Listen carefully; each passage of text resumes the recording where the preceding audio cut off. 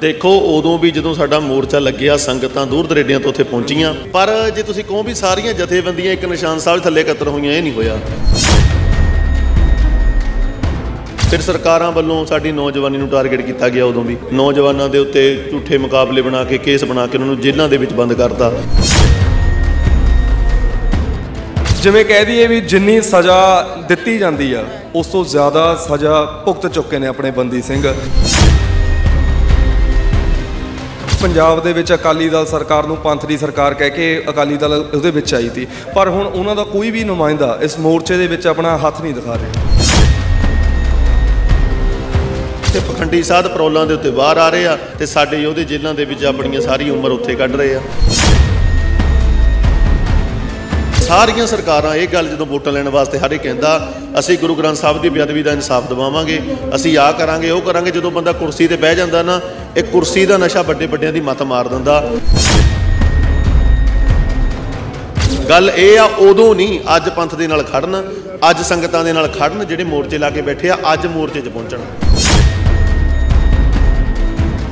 ਵਾਹਿਗੁਰੂ ਜੀ ਕਾ ਖਾਲਸਾ ਸ੍ਰੀ ਵਾਹਿਗੁਰੂ ਜੀ ਕੀ ਫਤਿਹ। ਇਹ ਬੰਦੀ ਸਿੰਘਾਂ ਦੀ ਰਿਹਾਈ ਜਿਹੜਾ ਉਸ ਦੇ ਲਈ ਕੌਮੀ ਇਨਸਾਫ ਮੋਰਚਾ ਜਿਹੜਾ ਉਹ ਕੱਢਿਆ ਜਾ ਰਿਹਾ। ਮੋਰਚਾ ਜਿਹੜਾ ਸ੍ਰੀ ਫਤਿਹਗੜ੍ਹ ਸਾਹਿਬ ਜੋਤੀ ਸਰੂਪ ਗੁਰਦੁਆਰਾ ਸਾਹਿਬ ਤੋਂ ਰਵਾਨਾ ਹੋਣਾ ਤੇ ਸਾਡੇ ਨਾਲ ਭਾਈ ਗੁਰਪ੍ਰੀਤ ਸਿੰਘ ਜੀ ਲਾਂਡਰਾ ਹੋਰੀ ਜੁੜੇ ਨੇ ਉਹਨਾਂ ਨਾਲ ਗੱਲਬਾਤ ਕਰਦੇ ਆਂ ਵਾਹਿਗੁਰੂ ਜੀ ਕਾ ਖਾਲਸਾ ਸ੍ਰੀ ਵਾਹਿਗੁਰੂ। ਜੀ ਕੀ ਫਤਿਹ।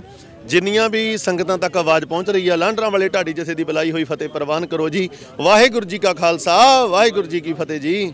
ਭਾਈ ਸਾਹਿਬ ਲਗਾਤਾਰ ਮੋਰਚੇ ਨੇ ਜਿਹੜੇ ਕੱਢੇ ਜਾ ਰਹੇ ਨੇ। ਕਿਵੇਂ ਦੇਖਦੇ ਹੋ ਵੀ ਮੋਰਚੇ ਕੱਢ ਕੇ ਆਪਾਂ ਜਿਹੜਾ ਬੰਦੀ ਸਿੰਘਾਂ ਦੀ ਰਿਹਾਈ ਵਾਲਾ ਇਹ ਮੋਰਚਾ ਜਿੱਤ ਸਕਦੇ ਹਾਂ? ਬਿਲਕੁਲ ਜਿੱਤ ਸਕਦੇ ਆ ਐਸਾ ਕੋਈ ਮੋਰਚਾ ਨਹੀਂ ਜੋ ਖਾਲਸਾ ਪੰਥ ਫਤਿਹ ਨਹੀਂ ਕਰ ਸਕਦਾ। ਸਾਡਾ ਅਫਸੋਸ ਇਸ ਗੱਲ ਦਾ ਆ ਵੀ ਆਪਾਂ ਸਾਰੇ ਇਕਜੁੱਟ ਹੋ ਕੇ ਨਹੀਂ ਤੁਰਦੇ। ਅਸੀਂ ਬਾਰ-ਬਾਰ ਸਾਰੇ ਚੈਨਲਾਂ ਦੇ ਜ਼ਰੀਏ ਸਾਰਿਆਂ ਨੂੰ ਇਹੋ ਬੇਨਤੀ ਕਰਦੇ ਹਾਂ, ਜਿੰਨੀਆਂ ਸਾਡੀਆਂ ਸਿੱਖ ਸੰਸਥਾਵਾਂ ਨੇ, ਜਿੰਨੀਆਂ ਸਾਡੀਆਂ ਜਥੇਬੰਦੀਆਂ ਨੇ, ਖਾਲਸਾ ਪੰਥ, ਸ਼੍ਰੋਮਣੀ ਗੁਰਦੁਆਰਾ ਪ੍ਰਬੰਧਕ ਕਮੇਟੀ, ਸਾਰੇ ਇਕਜੁੱਟ ਹੋ ਕੇ ਤੁਰਨਗੇ, ਤਾਂ ਸਾਡਾ ਮਸਲਾ ਹੱਲ ਹੋਊਗਾ ਜੀ। ਤੁਹਾਨੂੰ ਕੀ ਲੱਗਦਾ, ਜਿਵੇਂ ਦੇਖੋ, ਇੱਕ ਵਾਰ ਲਹਿਰ ਫੜ ਜਾਂਦਾ ਕੌਮੀ ਇਨਸਾਫ ਮੋਰਚਾ ਜਿਹੜਾ ਮਹਾਲੀ ਦੇ ਵਿੱਚ ਲੱਗਿਆ ਹੋਇਆ ਉਹ ਇੱਕ ਲਹਿਰ ਫੜ ਜਾਂਦਾ। ਪਰ ਹੁਣ ਜਿਹੜਾ ਉਹ ਮੋਰਚਾ ਹੈ, ਇੱਕ ਤਰ੍ਹਾਂ ਕਹਦੀ ਵੀ ਬੰਦ ਹੋਣ ਦੀ ਕਗਾਰ ਤੇ ਆਇਆ ਹੋਇਆ ਕਿਉਂਕਿ ਜਿੰਨਾ ਯੂਥ ਦੀ ਸਾਰੇ ਹੀ ਘਰਾਂ ਦੇ ਵਿੱਚ ਚਲੇ ਗਿਆ ਜਾਂ ਜਿੰਨੇ ਵੀ ਆਪਣੇ ਜਥੇਬੰਦੀਆਂ ਦੇ ਲੋਕ ਤੇ ਉਹ ਵੀ ਘਰਾਂ ਦੇ ਵਿੱਚ ਚਲੇ ਗਏ। ਲੱਗਦਾ ਵੀ ਆਪਾਂ ਸਿਰਫ ਇਕੱਲੇ ਮੋਰਚੇ ਕੱਢ ਕੇ ਜਾਂ ਆਪਾਂ 100 ਤੋਂ 150 ਬੰਦੇ ਦਾ ਇਕੱਠ ਕਰਕੇ ਜਿੱਤ ਲਾਂਗੇ। ਦੇਖੋ, ਉਦੋਂ ਵੀ ਜਦੋਂ ਸਾਡਾ ਮੋਰਚਾ ਲੱਗਿਆ, ਸੰਗਤਾਂ ਦੂਰ ਦਰੇਡਿਆਂ ਤੋਂ ਉੱਥੇ ਪਹੁੰਚੀਆਂ। ਪਰ ਜੇ ਤੁਸੀਂ ਕਹੋ ਵੀ ਸਾਰੀਆਂ ਜਥੇਬੰਦੀਆਂ ਇੱਕ ਨਿਸ਼ਾਨ ਸਾਹਿਬ ਥੱਲੇ ਇਕੱਤਰ ਹੋਈਆਂ, ਇਹ ਨਹੀਂ ਹੋਇਆ।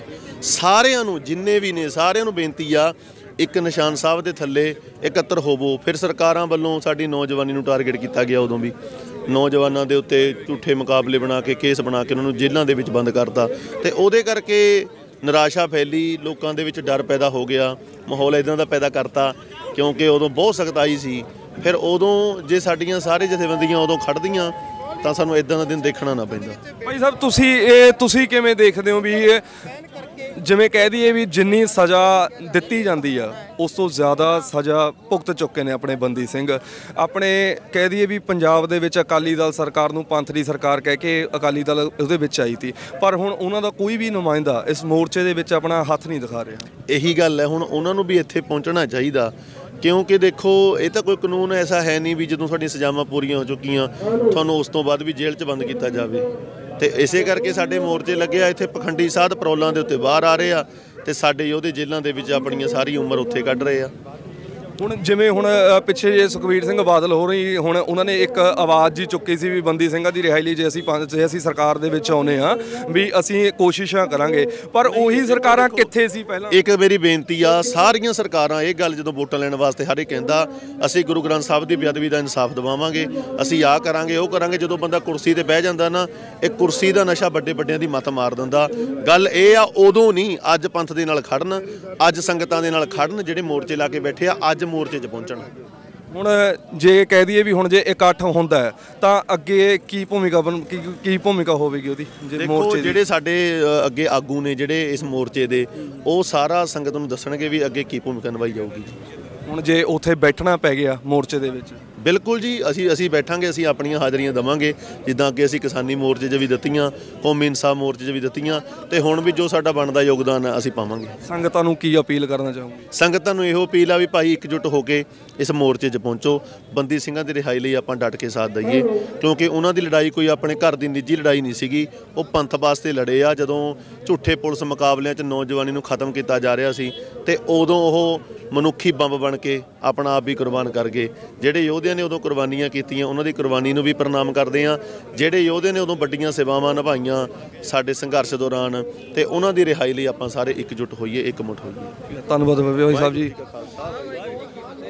ਗੁਰਦੁਆਰਾ ਸ਼੍ਰੀ ਜੋਤੀ ਸਰੂਪ ਸਾਹਿਬ ਤੋਂ ਇਹ ਮੋਰਚਾ ਹੈ ਜਿਹੜਾ ਉਹ ਸ਼ੁਰੂ ਕੀਤਾ ਜਾਣਾ ਹੈ ਤੇ ਇਹ ਬਾਈਪਾਸ ਚੌਂਕ ਮੋਹਾਲੀ ਦੇ ਵਿੱਚ ਜਾਵੇਗਾ, ਜਿੱਥੇ ਪਹਿਲਾਂ ਜਿਹੜਾ ਕੌਮੀ ਇਨਸਾਫ ਮੋਰਚਾ ਸੀ ਲੱਗਿਆ ਹੋਇਆ ਸੀ। ਤਾਂ ਲਗਾਤਾਰ ਸੰਗਤਾਂ ਦੇ ਵੱਲੋਂ ਜਿਹੜੇ ਇਹ ਮੋਰਚੇ ਨੇ, ਕੱਢੇ ਜਾ ਰਹੇ ਨੇ, ਮਨਾਂ ਦੇ ਵਿੱਚ ਦੁੱਖ ਭਰਿਆ ਹੋਇਆ ਹੈ। ਜਿਹੜੇ ਲੋਕ, ਜਿਹੜੇ ਬੰਦੀ ਸਿੰਘ ਪੰਥ ਦੇ ਲਈ ਲੜੇ, ਤਾਂ ਉਹ ਪੰਥ ਦੇ ਲੋਕ ਹਲੇ ਵੀ ਪੰਥ ਦੇ ਸੇਵਾਦਾਰ, ਹਲੇ ਵੀ ਜੇਲ੍ਹਾਂ ਦੇ ਵਿੱਚ ਜਿਹੜੀਆਂ ਸਜ਼ਾਵਾਂ ਨੇ ਉਹ ਕੱਟ ਰਹੇ ਨੇ। ਸਜ਼ਾਵਾਂ ਜਿੰਨੀਆਂ ਮਿਲੀਆਂ ਨੇ, ਉਹਨਾਂ ਤੋਂ ਵੱਧ ਦਾ ਸਮਾਂ ਹੋ ਗਿਆ, ਪਰ ਜਿਹੜਾ ਉਹਨਾਂ ਨੂੰ ਇਨਸਾਫ ਹੈ, ਉਹ ਹਲੇ ਤੱਕ ਮਿਲ ਨਹੀਂ ਰਿਹਾ। ਤਾਂ ਇਹੀ ਕੌਮੀ ਇਨਸਾਫ ਮੋਰਚੇ ਦਾ ਮੇ- ਜਿਹੜਾ ਮੇਨ ਉਹ ਆ।